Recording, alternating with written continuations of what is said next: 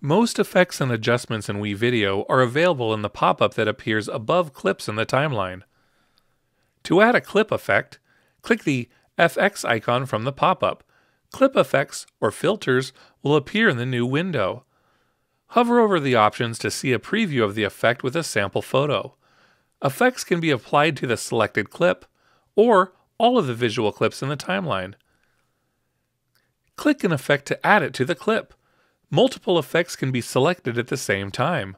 When done, click Apply. To change the opacity of a clip, select it and select the second option from the left in the pop-up above the clip. The opacity control line will display. Click and drag the white dots, called keyframes, down to decrease the opacity and up to increase.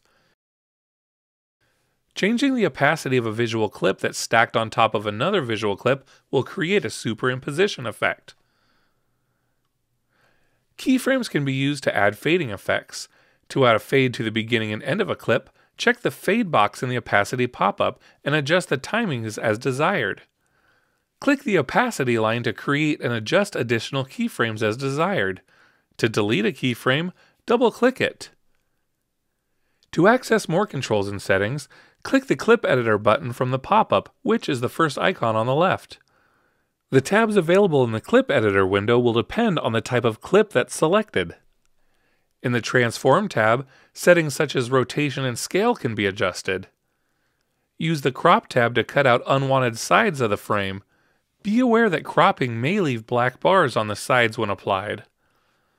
If the selected clip has audio, the Volume tab can be used to adjust the volume level as well as add fades to the beginning and end.